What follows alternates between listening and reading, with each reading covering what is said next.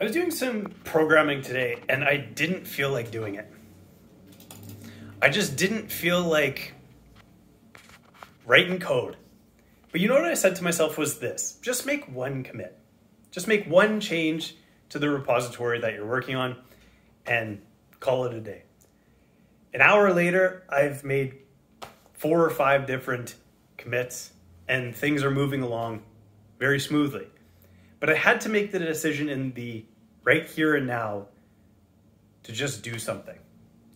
And I think that as a grander idea, that's all we really have the ability to do is make a decision right here and now to do something. We don't have tomorrow, we don't have yesterday, and we don't even have five minutes from now. We have right now.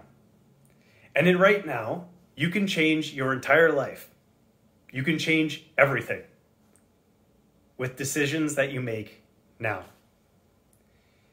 I was talking to one of the fathers at my church last week, and we were talking about how the concept of time in the Bible is not really a thing.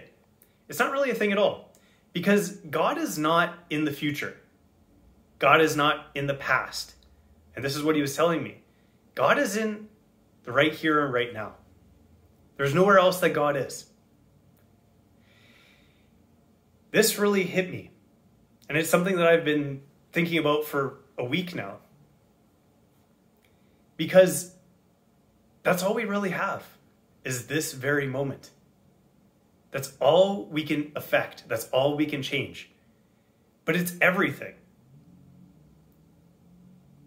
You can make the decision right now to go to the gym and make that your lifestyle forevermore.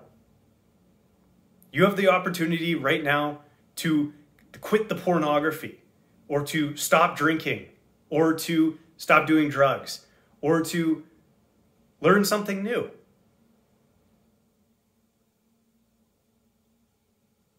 You know what you have to do. We all do. But we always think that it's going to happen tomorrow. We always think that it's in some distant land that we become the person that we want to become and do the thing that we want to do. What if you're already that person? What if it all was just a decision that you made? And the best time to make that decision is right now. I'll catch you in the next one. This was a short one today. I just had this on my mind and I figured I would get it out there. So, take care.